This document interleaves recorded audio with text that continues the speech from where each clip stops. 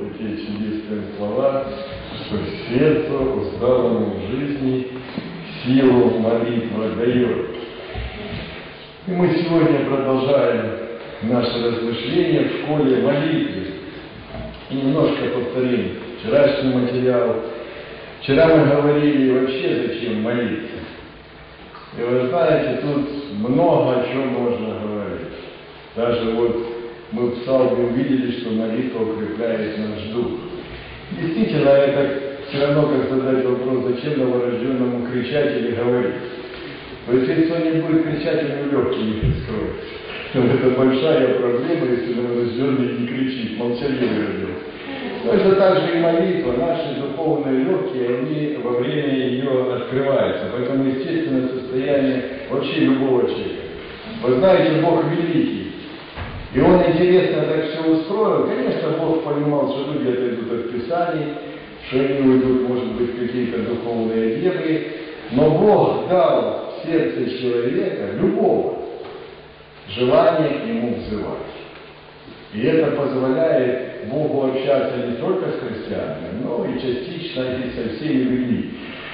То есть каждый человек на этой земле, даже атеист, даже атеисты, то они бывают моменты, когда они молятся, но во всяком случае так атеисты говорят.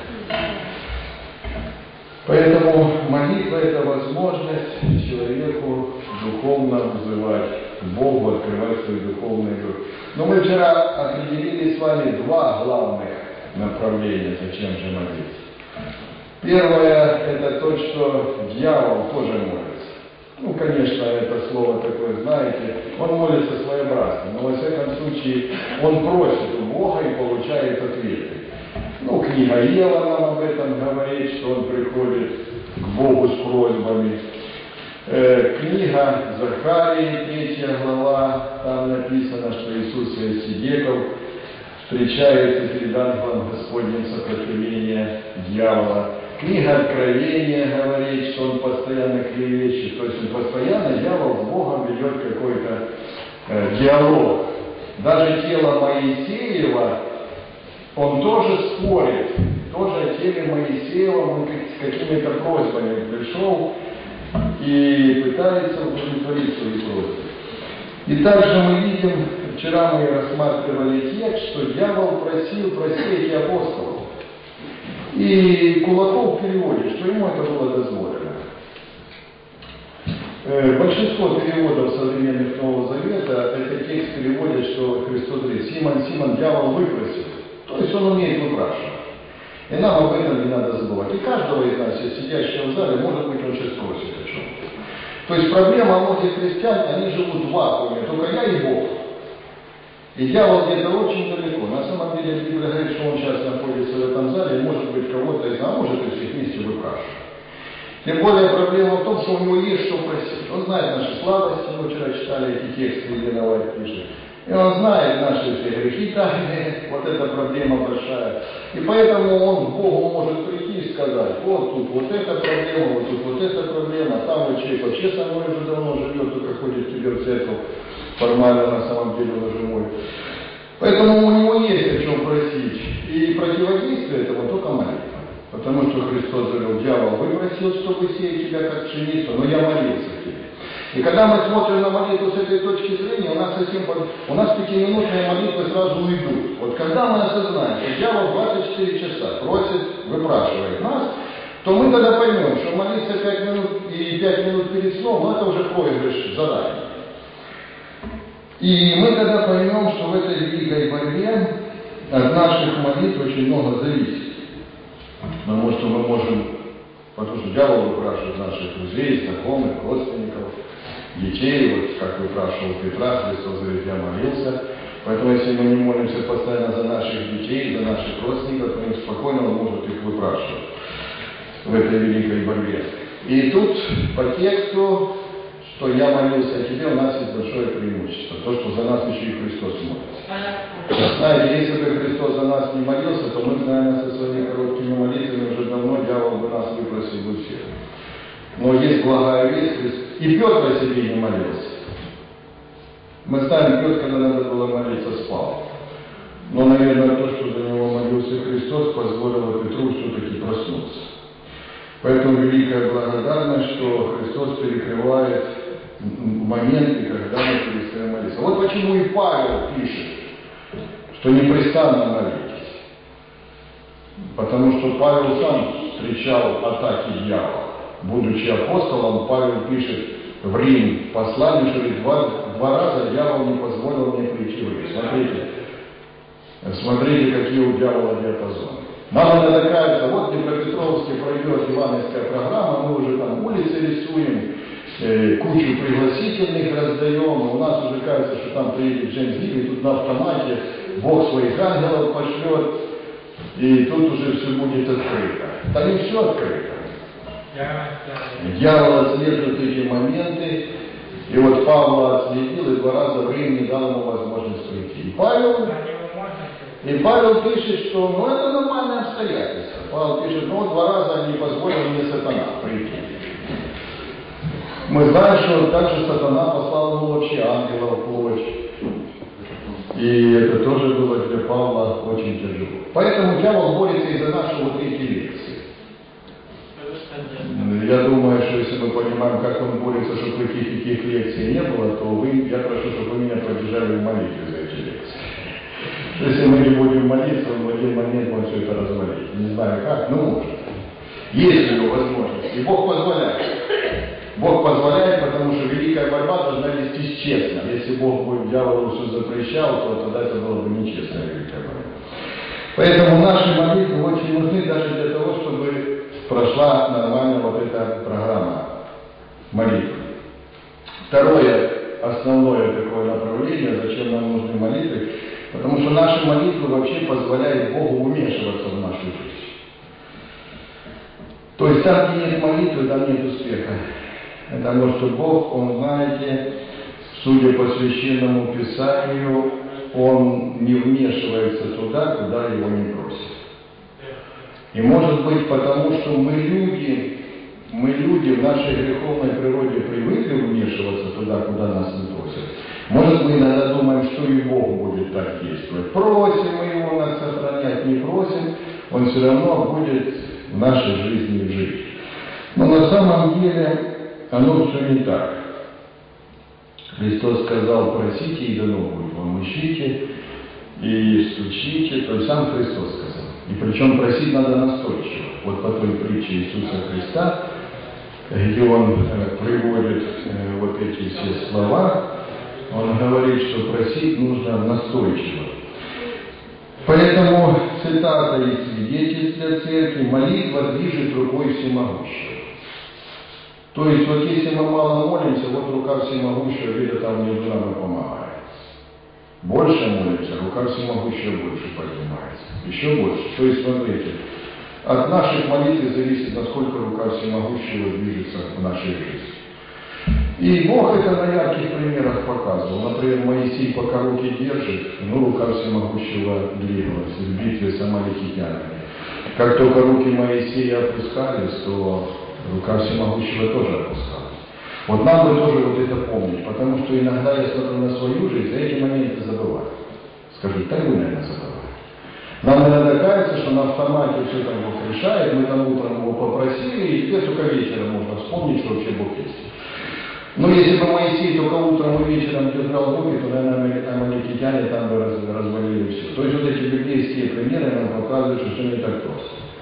Наша молитва движется, движется рука всемогущего. Мы замолкаем, остается все чисто материальный мир, в котором мы уже проиграли. Поэтому в великой борьбе вот есть еще такая цитата. Давать, давать нам ответ на искреннюю молитву, то, что без нее вы бы не получили, часть замысла Божьего. То есть час замысла Божьего отвечать на наши молитвы. Дальше мы с вами вчера рассмотрели, что молитва должна быть в определенном ожирении. То есть, смотрите, университет молитвы, он покажет, что молитва это не просто разговор с Богом. Часто, как-то, знаете, мы идем по упрощенному варианту. Ну что такое молитва? Это разговор с Богом. Ну, разговор с Богом, знаете, разговору тоже нужно учиться. Даже вот когда дитина рождается, она тоже должна учиться разговору. Сначала у нее там разговор слабенький, но потом ребенок возрастает же, уже ж начинает совсем по-другому говорить. Поэтому просто сказать, что молитва разговор с Богом, это ну, обречь человека на то, что у него толком ничего никогда не будет в жизни получаться. И иногда слышишь, люди говорят, ну молимся, молимся, да, и ответа бывает не бывает. Потому что молитва не зависит от количества, от всего остального. В молитве есть наука, ее нужно изучать.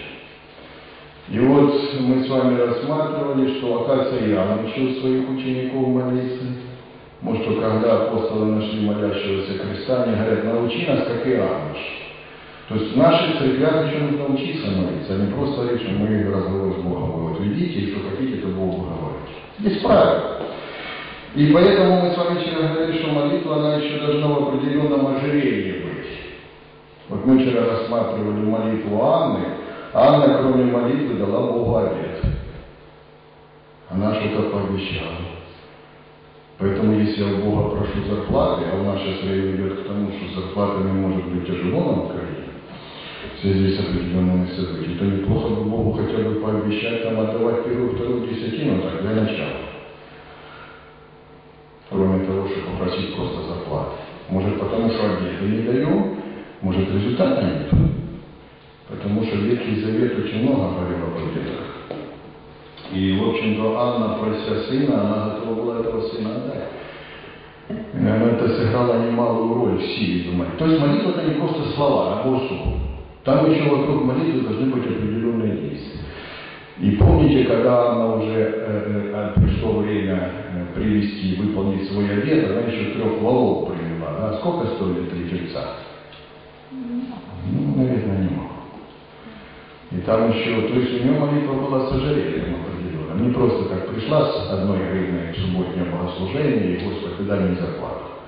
А я тебе еще подумаю, что тогда мне не дам. Тут мне опять будет сегодня про поборы говорить, про десятины, про вторые. Эти мысли, они, в общем-то, заканчиваются печально. Вообще такие мысли. Если ожирения в молитве нету, то результат будет безработица и все остальное. Бедники 107 И тут надо это четко понимать. Еще мы вчера говорили, что в молитве очень важно состояние, котором я нахожусь. И мы с вами говорили, как по-еврейски молитва? Ну что? А? Фила, да. Ну там два слова, фила и полей. И вот одно, это то, что у нас переведено умолять. Знаете, вообще в русском языке некоторые слова переведены весьма однобоко. И вот почему-то э, э, в русской Библии вот, вот эти еврейские слова переведены молить, то есть умолять, то есть Бога упрашивать. И у нас получается понимание молитвы уже на подсознании, это Бога о чем-то упрашивать. Потому что само слово молить, умолять. На самом деле слово «тфила», если посмотреть корни, оно обозначает слово «соединяться». И тогда вопрос, когда мы упрашиваем, мы соединяемся с Богом? Вот это то, что поразило учеников. И тогда нам нужно последовать во время молитвы, сколько в голове у нас пронеслось мыслей, научились ли мы, когда мы Сколько мы заметили скрипов двери, когда мы молимся? Сколько, когда мы молимся, бывает, что язык говорит одно, а мысли в другой стороне. Кажется, с тфилой бывает очень сложно. И благодаря тому, что мы только языком проговорили, а сердце не соединились, не погрузились в молитву, результат будет тоже такой же. Результат будет пустой. Кстати, вот сегодня брат говорил, Эдуард Ильич, что псалмы – это тоже молитва. Вопрос, когда мы поем псалмы, у нас всегда ли мысли на псалмах? О, вот оно оказывается. А псалмы – это с молитвой. То есть рот работает, а голова... Оно ж видно, знаете, я пастор, я бывает вот на этом месте выхожу и вижу, как церковь поет псалмы. Я смотрю, ты работаешь, а глаза далеко. Глаза вот то есть, если мы в таком состоянии будем пребывать и не научимся себя дисциплинировать, наши молитвы будут пустячки. Потому что нет вот этой тфилы. То есть, вроде мы Богу что-то говорим, а в мыслях мы, может быть, там где-то возле Магадана. И сердце наше далеко. Почему Христос говорит, устами приближается, а сердца? Вот Христос смотрит, церковь поет псалом, говорит, устами поют на автомате, а где сердца? Вот как. Поэтому мы будем тут и псалм учиться чтобы все саживали. Чтобы уже если поем, не вот так, что, а ну знаете, у нас много проблем. Мы эти псалмы уже знаем на память, к сожалению, и мы можем вот так. Поэтому я всегда рекомендую таким бойцам, которые уже 55 тысяч раз прокируют псалмы, все-таки возьмите и вот так попробуйте. Не показывайте, я знаю, что вы все знаете. Но по вот этому вопросу ваше сердце. И очень полезно еще раз все-таки взять текст псалма, открыть и вот так его носить. Чтобы хотеть понять, что псалма о чем там говорится. Но это отдельная тема, вы знаете, у нас в филологии псалмах это вообще куча проблем. Первая проблема, что иногда уже первый зал поет, а половина зала еще спрашивает, а что поем? Какой номер? Какой номер, да. Мы же хотим скорее, тут села вообще получается нулевая половина зала. Они пока поймут уже, какой псалом поем, все уже право закончат. И вот знаете, вот в этом во все мы превращаем иногда вот то, что должно быть ого-го, вот на вот это то. И поэтому иногда мы выходим говорим, да, наши молитвы не идут выше потолка, потому что это дисциплина. Молитва – это целая наука. Лена вообще писала, есть такое выражение «христианская наука», которую мы должны изучать. Есть слова «христианский университет», то есть чему нужно учиться. Если все так пустить на самотек, то мы будем годами ходить в церковь и будем оставаться на уровне вот, духовного, то есть характеры наши будут где-то там плавать внизу, и оно мы будем видеть, что ну, ничего не меняется в нашей жизни. Поэтому цитату мы вчера с вами читали, «На пылкие молитвы его народа придет ответ, ибо он любит, когда его народ ищет его всем сердцем». И это вот, вот вы знаете, наука сосредоточения во время молитвы – это большая наука. Я читал книги некоторых проповедников, которые вот тоже говорят, что мы грешим во время молитвы. Вот мысли уходят, не могут поймать мысли. Один проповедник пишет, сегодня, когда молился, поймал себя на том, что считал кирпичи на стене церкви. Опять, говорит, не получилось. Ну, я думаю, вы понимаете, о чем речь. Да, вроде бы молишь, а кирпичи считаешь, шиши. То есть это целая наука. Но если мы ее не постигнем, мы не постигнем силы молитвы Иисуса Христа. Ну что мы с вами вчера рассказывали, почему ученики попросили Христа молиться. Вайт открывает эту идею, потому что когда они увидели, что они подошли к Христу, он их не замечает во время молитвы, их поразило. То Христос настолько погружался, что его не скрик двери, ничего, вот это соединение с Отцом у него было полное. Поэтому результаты были 100%. Хорошо. Сегодня мы с вами рассмотрим еще следующую тему, насколько влияет состояние сердца во время молитвы. И мы откроем с вами Псалом 65 и немножко поисследуем с 17 по 20 текст. 65 Псалом, 17 по 20 текст.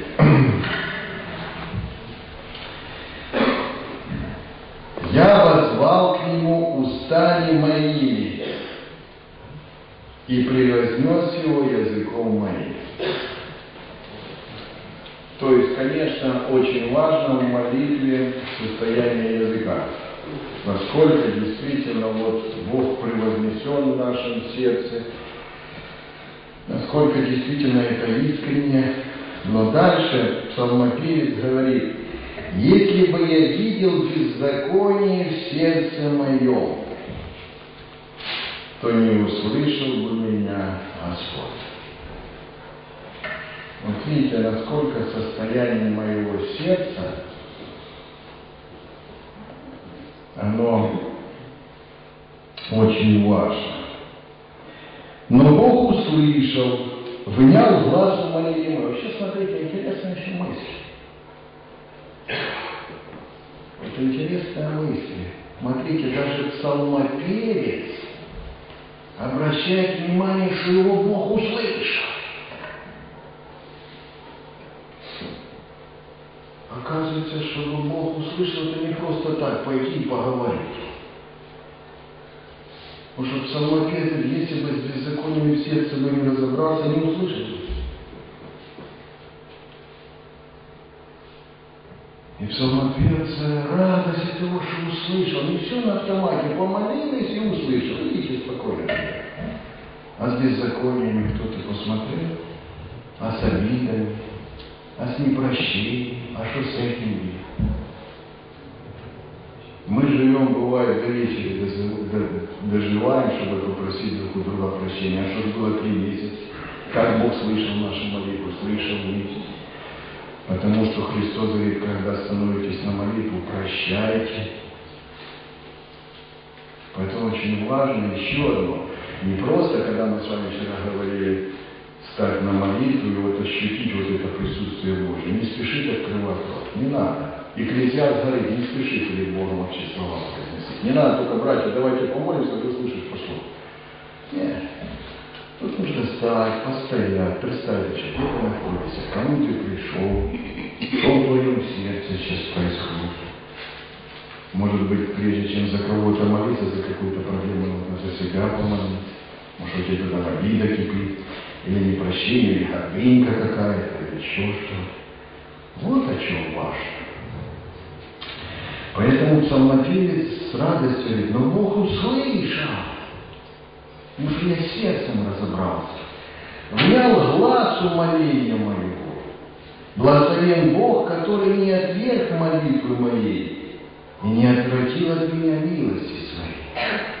А псалмопевца нет. Ага, я сказал, и пошло на автомате уже ответ. Он радуется, что Бог не отверг его молитву.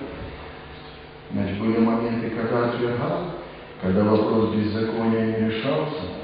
Поэтому исследование сердца очень важно в молитве. Вот почему два еврейских слова Ветхого Завета. Об одном говорили вчера, это соединение, а второе «видеть полей», которое переводится «судить себя». Смотрите, как русский язык ограничил наши понятия. Русский язык только умолять и просить. А библейские корни говорят, а ты во время молитвы себя судишь? Лить полей проходишь или нет? Или ты пришел на все штампы поставил, пастор не такой, этот не такой, этот не такой, и Господи, а я такой. Помните, вот в чем разница между фарисеем и мытарем? Когда они молились. Мытарь молился лить полей. Потому что он что сказал? Он много не сказал. А фарисей совсем из другой страны пришел. Поэтому вот исследование сердца моего очень важно молитве, особенно в ходатайстве, это в любой молитве. Прежде чем ходатайствовать о ком-то, я должен ходатайствовать о себе. И это очень ярко показано в судный день, когда первосвященник, прежде чем молиться за народ, он должен был за свою семью жертву принести и совершить молитву. И только тогда, и вообще у первосвященников было все там очень опасно. Потому что когда он приходил за народ э, взывать и не решил своих проблем, его Бог просто мог поразить. То есть там как-то явно это все вообще показывалось, вот эти лик полей.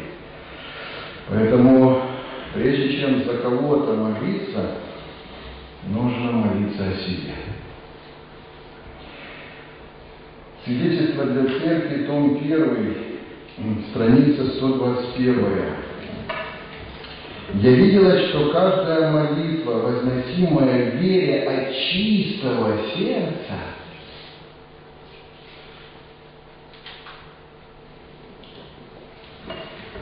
будет услышана и исполнена Богом. Ни одна молитва истинно святых не пропадет в туне, если она вознесена в вере от чистого сердца. То есть действенные молитвы от сердца чистого. Поэтому, если я молюсь в обиде, что дети мне там не додали какой-то помощи, или там в обиде, что государство мне пенсию не выделило достойную, то дьявол меня поймает. И мое сердце уже не чисто. Если там в обиде на пастора, там на дьякона, на соседа я молюсь, то уже результат будет, я могу наговорить много, Господи, исцели этого, дай работу этому, но Бог говорит, это все уста, не сердце. В молитве главное, кстати, не уста. Мы читаем, что молитвы библейских героев, они были очень короткие. Знаете, когда я поражаюсь, Яков возвращается в Ханан, и там ему говорят, и сам идет, 400 человек идет, то молитва Якова очень короткая, можете дома посмотреть. Потому что герои понимали, что молитва это не соревнование опыта. Может быть, поэтому и у нас иногда общественные молитвы такие, знаете, утомительные. Я вам скажу честно. Иногда как начинается, ну человек берет, если 10 минут все не расскажет общественных молитв, то это уже человек, у которого здоровья маловато, ему уже тяжело не то, что на коленях, а вообще как-то стоять это все. Но мы именно соревнуемся в устах, чтобы оно было красиво, подольше и чтобы так убедительно. На самом деле в молитве идет соревнование сердец. Если сердце чистое, достаточно в молитве сказать Лазарь его. И Лазарь выйдет.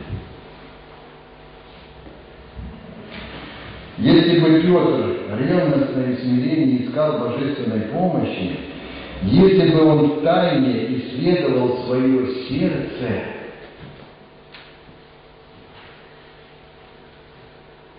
знаете, у нас много надо записок, много списков, но как бы хорошо нам иногда устраивать молитвенные встречи, где мы просто часик за себя каждый помолимся. Ох, какой бы это был мощный результат. Но, к сожалению, в основном, когда встречаемся, то за кого-то.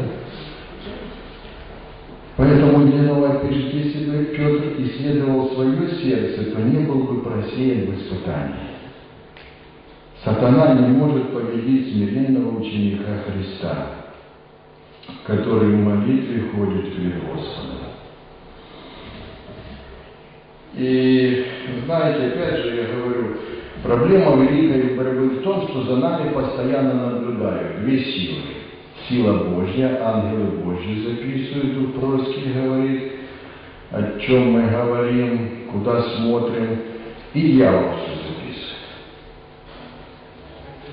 Вот дьявол смотрит, едет брат-адвентист в троллейбусе, смотрит на рекламу, а рекламы сейчас вы знаете какие. Там в телевизоре, в интернете попадает на определенные сайты, которые разжигают кое-какие страсти. И брату адвентисту может показаться, что он чистый, потому что пастор не видел, церковь не видел, никто не видел. Дьявол все видит. И дьявол все наши слабости записывает, и он уже знает, у этого брата можно развалить семью, и он ее развалит. От одного взгляда может пойти уже идея. Знаете, Давид вообще вышел, бросил только один взгляд на чужой бассейн. И дьявол уже развалил всю схему, сработал буквально очень быстро. Поэтому нам очень важно понимать, что за нами следят две стороны. Смотрят, что мы смотрим, что мы думаем, как мы воспринимаем окружающий мир, и в связи с этим делают соответствующие выводы и начинают работать соответствующие схемы.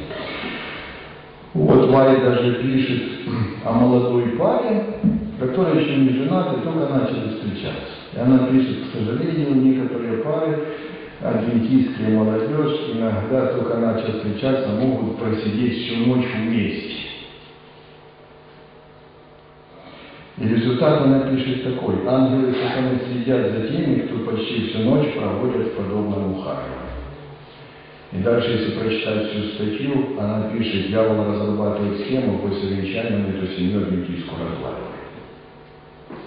О, оказывается, Григорий многих наших проигрыш. Взгляд, посидели там, не там, и думаем, что все в порядке. Там корзинка эта прошла с пожертвованием, никто не увидел. Там наши корзинки сейчас какие, никто ничего не видит. Дорогу запустить трудно. Дьявол все видит. Ага, дьявол увидел человек, положил гривну, все ясно, жадный. И у дьявола сразу, и у него есть схема. Вы не знаете, как это есть схема, как развалить человека окончательно. Как его запустить в какой-то банк, чтобы он пошел в этот банк, чтобы он взял кредит, от которого потом не делается. Во как ему все. Поэтому даже вот эта корзинка закрытая, которую мы все не видят, она просматривается некоторыми силами которые знают, как дальше нас разыграть. Потому что я не думаю, что сундучок Иуды, он сильно просматривался. Кроме Иуды, наверное, там, я думаю, никто не знал, что там лежит. Иуда думал, что никто не знает, дьявол знал все. Дьявол даже знал сумму, за которую его можно потом купить. Потому что был сундучок. И дьявол знал, по какой схеме Иуду разыграть. Это вопрос наших пожертвований, наших корзинок. Наши корзинки это не поборы. Действительно, ни кассир не знает, сколько мы вложим, ни я не знаю, да ну нам не нужно, дьявол это нужно. Вы Виктор, все по-другому. Все видно, все вот как... И ангелы сатаны даже смотрят, вот молодые, просидели, я уже говорю, давай заваливаем к себе. Смотри, они вот уже так чувства свои вошли, что там голова уже не достигает. И Лена Майя пишет, что дьявол потом развеивает эту идею, когда все на чувства, голова уже не успевает. И потом, когда эта пара женится, у них голова не включается, чувства пропадают, и семья просто разваливается. То есть у сатаны есть схемы, отработанные 100% за 6 тысяч лет на каждую нашу слабость. Поэтому я думаю, мы, как дети Божьи, должны очень серьезно бодствовать и понимать, куда мы смотрим, что мы ложим и с кем, особенно молодежи, зачем мы сидим. Там в интернете сидим до утра, и зачем мы сидим, и думаем, что никто не видит, что я в интернете сидел до утра. Дьявол все увидел и говорит, ребята, схему разыграли. У Лены Лайтмана есть даже целая глава, как там совещание идет, как дьявол, у нас даже было когда-то в субботней школы, как там все эти номера потом разыгрываются, нас просто может взять, оно так, безоружно. Поэтому, братья, мы на территории битвы, в которой колоссальная роль играет молитва и колоссальную роль играет. И Павел пишет, что иногда даже женская прическа, она знак для кого? Для ангелов, да? А? Ну, Павел пишет, что то, что у тебя на голове, это знак для кого? Для ангелов, да, ты вам посланник. Смотрите, оказывается, ангелы еще и приходят и смотрят, какие тут знаки. Я не о прическах, там Павел просто о другом, он не о прическе писал. Просто в то время по прическе можно было судить отношение жены к мужу. А ведь ангелы, это же знаете, люди, у которых, то есть эти существа, у которых иерархии, ангелы любят иерархию. Поэтому по прическе ангелы, если видели, что жена не подчиняется мужу, то это для них был шок, такие знаки. Поэтому я не говорю, что сейчас там о прическах речь. Я просто о том, что, оказывается, для ангела тоже есть определенные знаки. И нам это нужно учитывать. Есть определенные знаки и для тех ангелов, которые могут быть в наших домах, в наших квартирах. Но это будет у нас отдельный разговор. Если получится, что там еще в наших квартирах, какие знаки могут быть. Но я бы хотел, чтобы мы рассмотрели вот молитву Авраама. Бытие, давайте откроем 18 главу. Потому что наша тема сегодня о состоянии сердца. И вот тут есть интересные моменты, на которые хотелось бы обратить ваше внимание. Бытие 18 глава, ну вы помните эту главу, когда приходит сам Бог, и два ангела под видом путников э, приходят к Аврааму. Ну, у них там происходит еда, Бог говорит, что будет у Сары сын, ну, там смех определенный идет, Бог говорит, будет. Э, но дальше вот Бог же идет к Содому. И вот давайте поисследуем вообще, насколько наши молитвы важны. Я думаю, если бы они были не важны, то вот это, во-первых, Бог бы не вел этого диалога с Авраамом, во-первых, чего он его с ним ведет.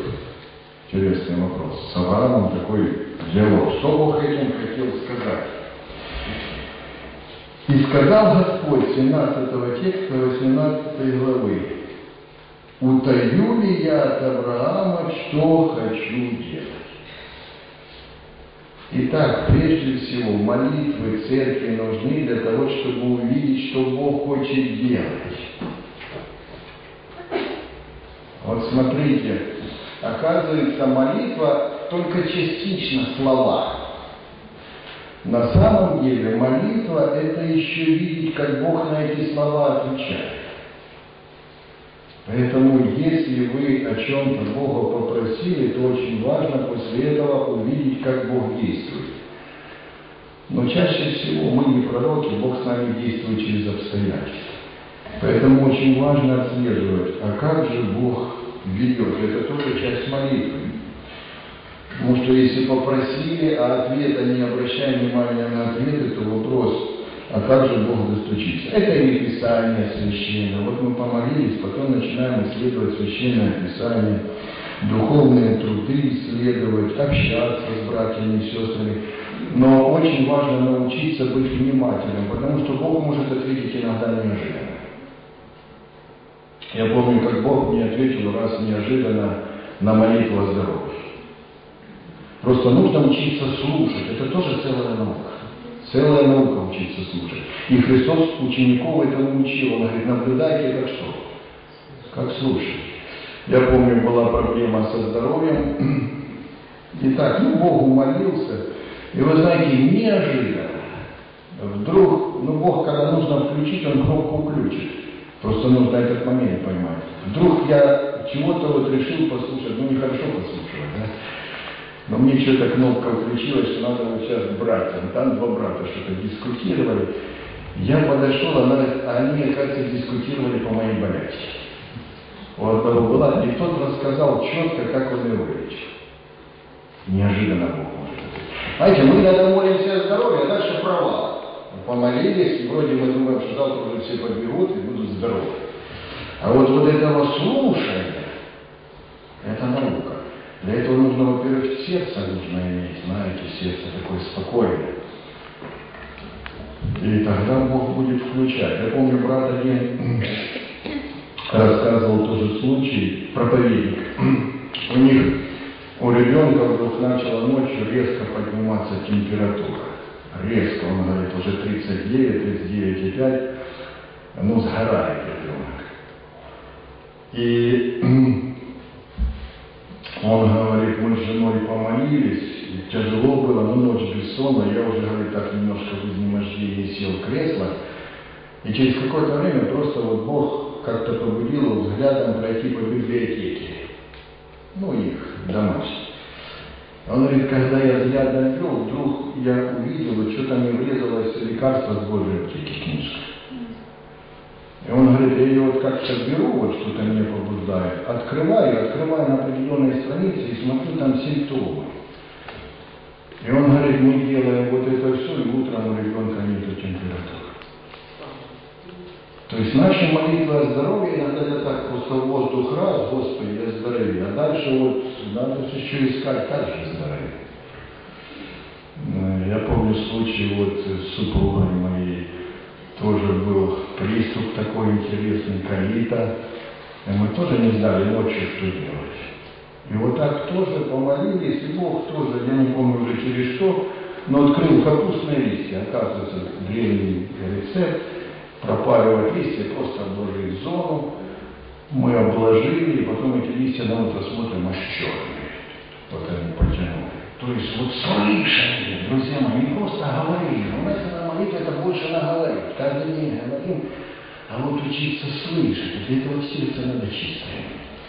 Потому что если там ходит какой-то туман, знаете, как только радио, если какой-то сбой идет, то там ничего в этом радио не услышишь. Оно еще должно быть настроено. Поэтому, и я думаю, что вы могли бы таких опытов много привести, когда вот Бог вам неожиданно вдруг отвечал. Он отвечает.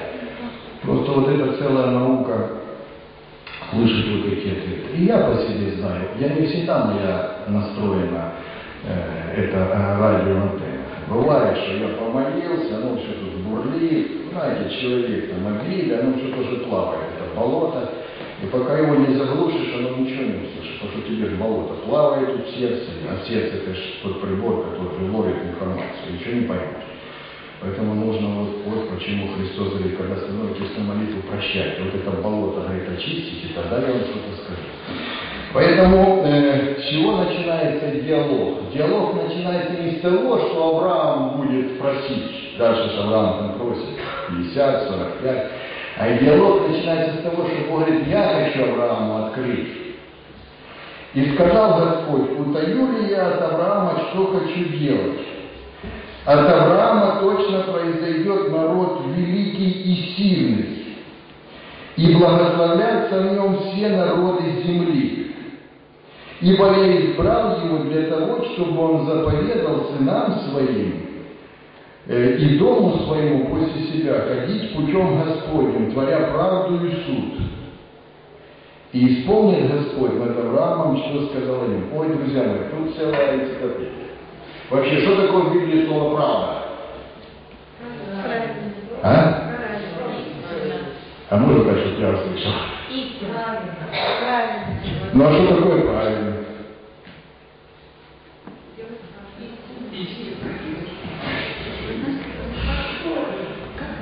Правильно, можно сказать правильно. А что правильно? А хороший ответ. Правильно, правильно, это правильно. По закону? Так по закону нам всем конец. По закону, потому что возмездие за грех что? Оказывается, правильность это больше, чем поступать по закону. Понимаете, что? Потому что по закону выходи за свои грехи и там что? А Божий нет, возмездие за грех нет, ну что, вы имеете право на... Это что, по закону на жизнь вечную? Из нас никто не имеет права на жизнь вечную. Пастор, правда есть Овечка. Да и поистине мы не имеем права на жизнь вечную. Мы же грешники. Ну, овечка зачем? Праведность наша в Христе. Так овечка, так овечка ты же не по закону. А, нет, по закону. Да нет, брат, по закону смерть. Если не было овечки, да. Да. Пожалуйста. Правда это то, что говорит и делает Бог. Поэтому, друзья, вот тут все гораздо сложнее. Вообще слово «правильность» в библейском понятии, оно гораздо более глубокое. И правильно было сказано. Праведность по Библии, если так это поступать правильно. А поступать правильно это не всегда по букве. Христос говорит, не читали ли вы, как Давид вошел в храм и по букве не имел права что? Отъел. Неужели вы об этом не читали? Так как они читали и, наверное, задавали вопрос, так Давид не имел права есть. А каким-то путем увидел, что ему хлеб надо. И Христос говорит, он по, по какому закону? По букве нет. А, по духу, ага. Так по милосердию, Боже, пошло. Вот это, вы знаете, кто по закону хочет с нами поступать? Дьявол. Когда-то Мартину Лютеру или какому-то из реформаторов он показал письмо во сне, и там были показаны все грехи. И во сне у того дрожь пробила. Что по закону конец. А дальше такая лапа волосатая закрывала. А потом раз, Бог эту лапу убрал, а там, оказывается, все прощается кровью Иисуса Христа. Вы знаете, загадка спасения, она вообще интересный Бог изобрел закон. Елена Вайт пишет, несправедливо поступили со Христом, чтобы с нами поступить тоже как. Христос не имел права умирать, потому что по закону возмездие за грех смерть. А Христос как пришел безгрешным, так и ушел. Поэтому Христос стал вместо нас, а нас поставил вместо себя. Поэтому слово «правда» в еврейском языке, я просто вам несколько понятий. Это благодеяние. Это забота о благополучии другого. То есть слово «правда», оно имеет больше значения, чем просто поступить по закону. Слово «правда» в Библии, ты поступи с ним так, чтобы у него было что? Благополучие. А это целая наука. Для того, чтобы поступить с человеком, чтобы у него было благополучие, нужно человека еще узнать. А в чем это благополучие? Тут целая наука. Вы знаете, что нужно сделать маме прежде, всего, если ее сын наркоман, чтобы она, чтобы он освободился от наркотиков или алкоголя. Это нужно, когда он очередной раз приползет, дверь крепко закрыть, чтобы просить 100 гривен. И когда он будет с той стороны говорить, что я голодный, босый, мне нужно 100 гривен, 100 гривен не дать. И вот если мама наберется смелости, чтобы не дать 100 гривен, начнется его выздоровление. По закону материнская любовь, вроде бы по милости, а поступить правильно не дать. Хотя он начинает говорить, я сейчас тут умру, со мной все закончится. Все наркологи говорят, вот если мама вот это преодолеет, просто ее вытолкнуть в этот мир, голову, без трусов, как угодно, вот тут начнется выздоровление. А если она опять жарится, посадит его за стол, накормит борщом, он будет, понимаете как, вот что такое правда. Еще научиться правильно поступить. Где жестко, а это целая наука. Поэтому Бог говорит, что для того, чтобы вот эту правду творить, я целого Авраама призвал. Далеко не все могли. Одни по закону, фарисеи поступали, говорят, мне такая правда не нужна. Уже так э, поступали, что и за Христом отслеживали, по закону или не по закону. Другие по сплошной, по сплошной милости поступали, Христу мне тоже такая правда не нужна.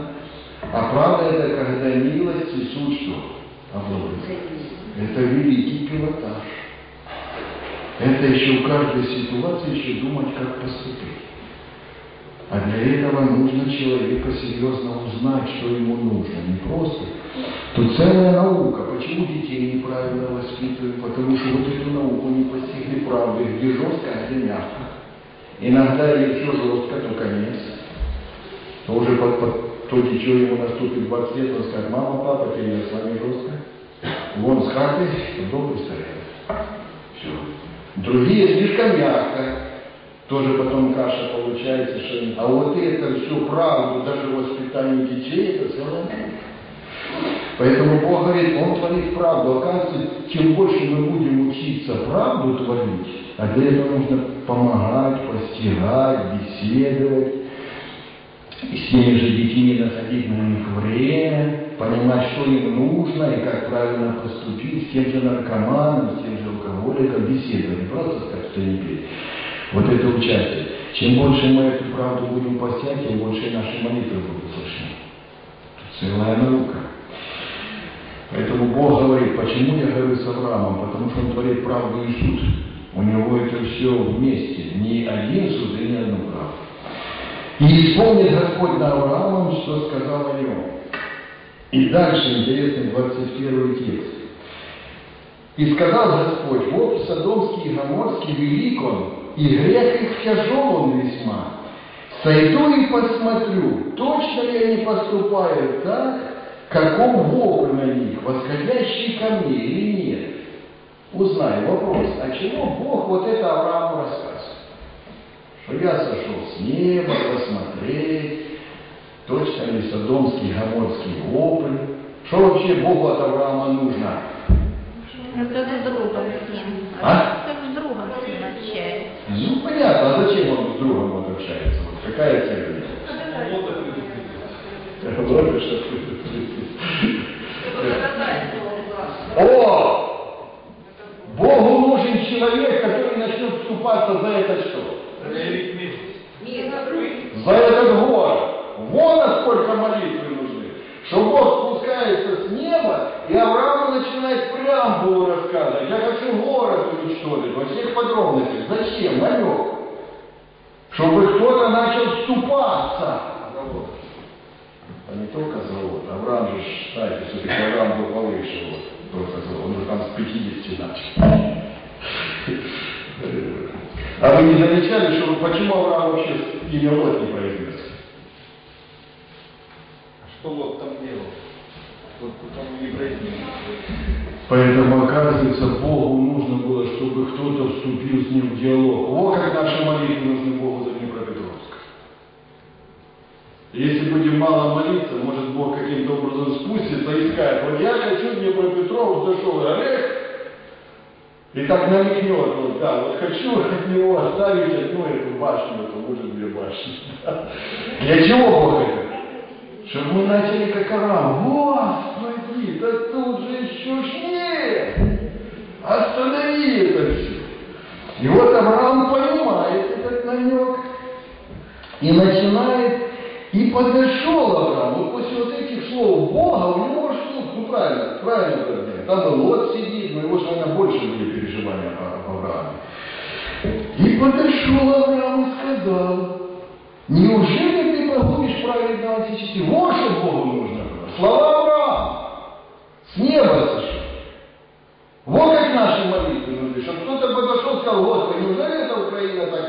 Говорит, молитесь. Как я вчера рассказывал про Джона, да? Как этот евангелист приехал, тут Джон плачет. Евангелист думал, сейчас он будет что-то говорить, ну, Джон помолится. А он смотрит, а Джон там слезы, он открывает, а тот Джон уже, Господи, ты какой евангелист, да неужели этот город наш уже? Неужели ты оставишь евангелист? Да не могу я этого пережить. Хоть одного спасти этот, этот евангелист, как послушал, понял, что тут есть кто переживает за эту евангельскую сферу. Значит, надо спасать. Ради этого Джона надо зал наполнять, а не просто, Господи, вот надо на евангельскую программу провести. Не, Авраам надо не так. Что говорит, я не так, говорю, неужели могу убить? Хотя Авраам прекрасно знал, что эти такие сыновляне. Да, неужели их сыновляли этих поручей?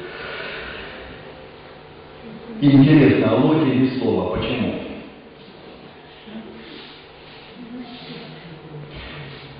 Почему Авраам ни слова Лоте не говорит? А потому что дальше идет 25 текст. Не может быть, чтобы ты поступил так, чтобы ты погубил праведного с нечестивым. Чтобы тоже было с праведным, что с нечестивым. Не может быть от тебя. Судья всей земли поступит и не правосудит. Я понимаю, что Авраам не произнес слово Лот, потому что он не знал, в каком состоянии Лот. Он все отдал на суд Божий. Он говорит, я знаю только одно, что нечестивого с праведным ты не перепутаешь. Вообще интересный человек, да? Насколько доверял Богу. И 31 текст говорит, что у Авраама было стопроцентное смирение. Опять же, ни слова о Лоте, потому что Авраам уже свое сказал, что Бог иначе не поступит. Здесь уже пришел судить, так если вот правильный, то все будет нормально. Если нечестивый, то надо понимать, как оно есть. Авраам сказал, вот я решился говорить владыке, может быть, найдется там двадцать. Смотрите, как он с Богом. Я решился говорить.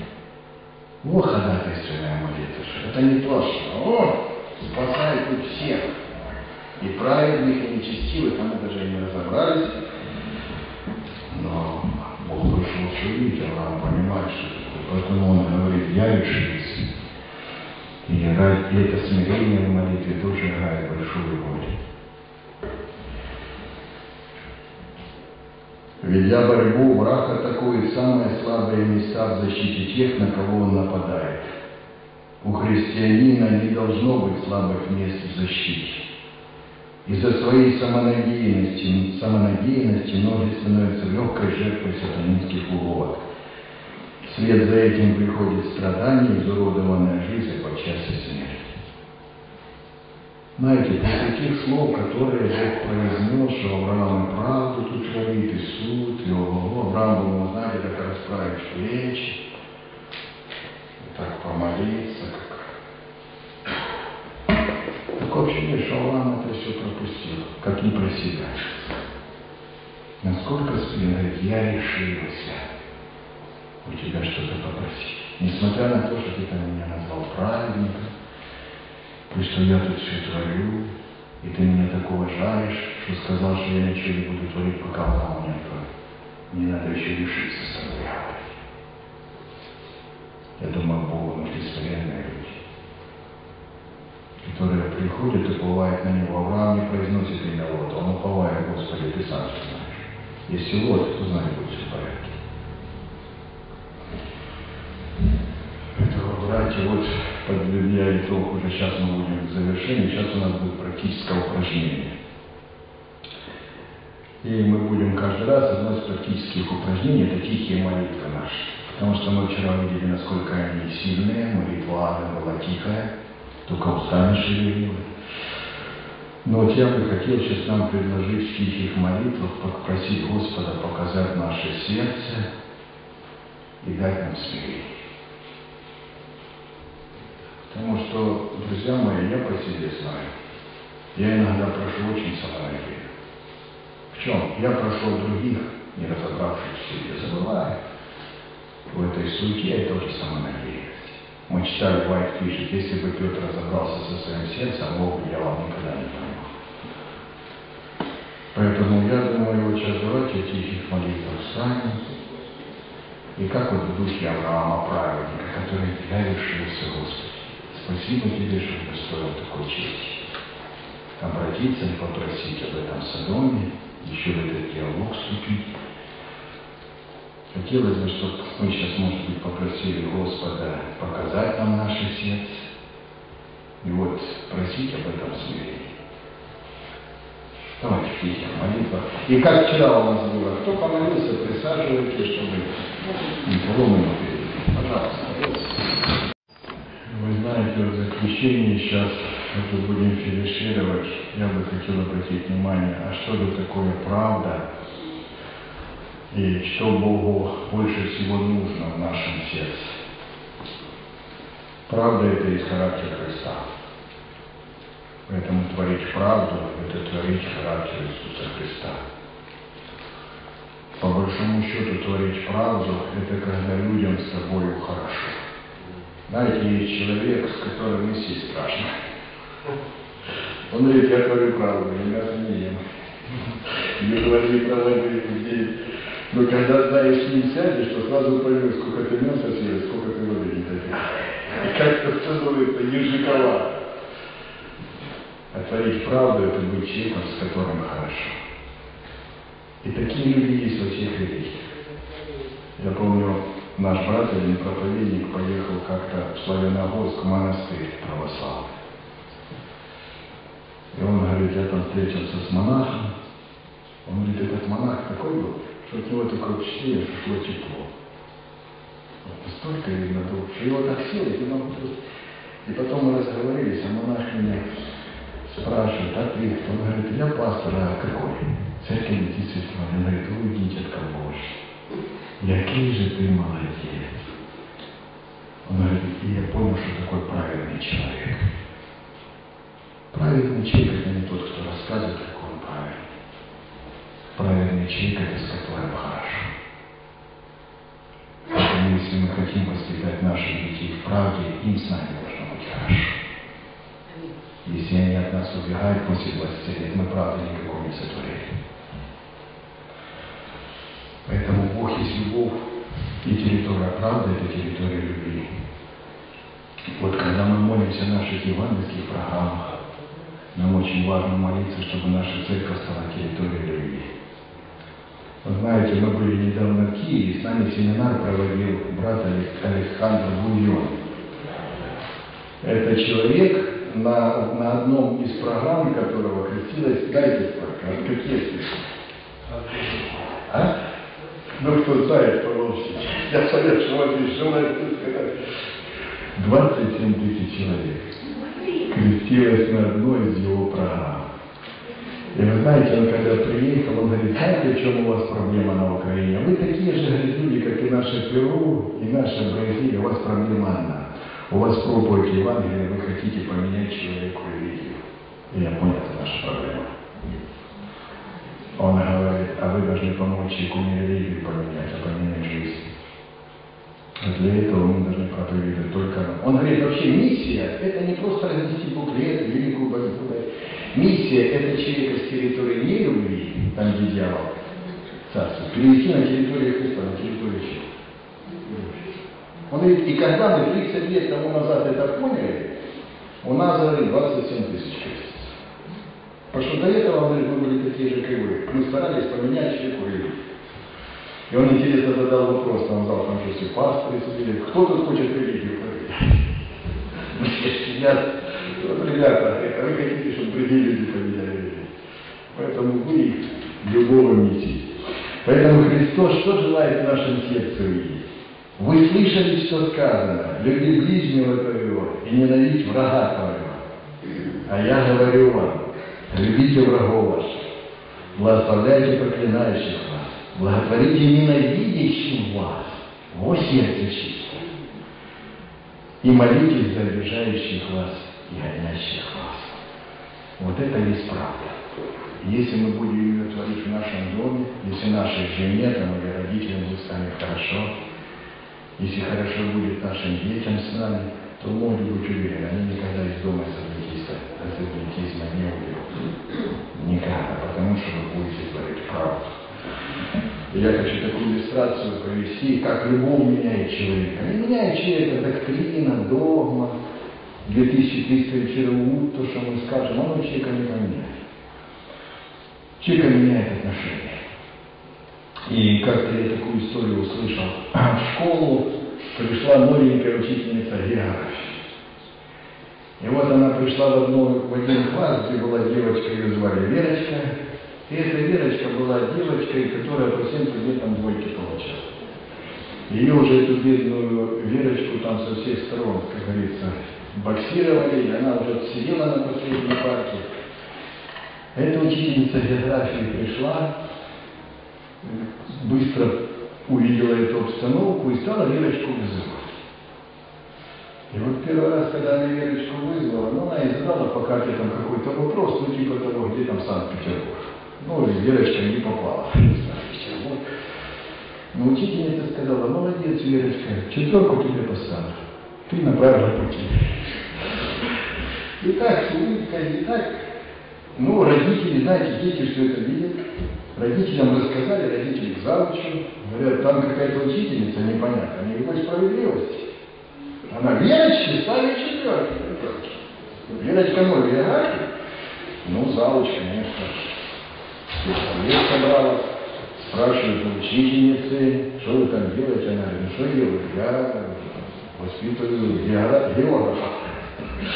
Хорошо, я приду, пожалуйста, приходите на ваш урок. Вот приходит завуч, садится на последний ряд рядом с Верочкой. Ну, а учительница там Федю вызвала, Васю, ну там блестяще все отвечает, а завуч, ну как ты, товарищ Верочку, Верочку вызывай. Ну, учительница говорит, Верочка, вот, пожалуйста, географию, расскажи мне там.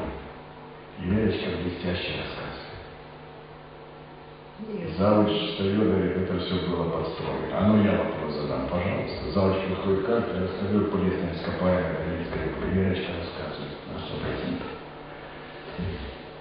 И завуч подходит и говорит, учитель, потому что вы учите любовь. Вот зачем пришел на землю Христос, чтобы учить нас любовь. И творить правду – это не просто говорить доктрины. Творить правду – это говорить истину любви. Поэтому хотелось бы сейчас, братья и сестры, чтобы мы объединили сейчас, как мы вчера говорили, по двое,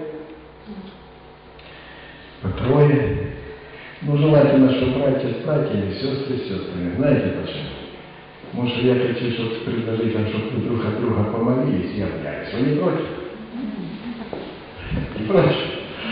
Что объятие – это великое, это великое проявление. Ну, если муж с женой, это нормально. Это допускаемо.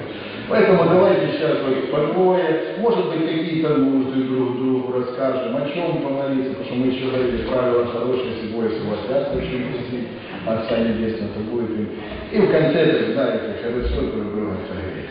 Ой, Господь нас благословит. Пожалуйста, переходим к практическим упражнениям, после этого я помолюсь.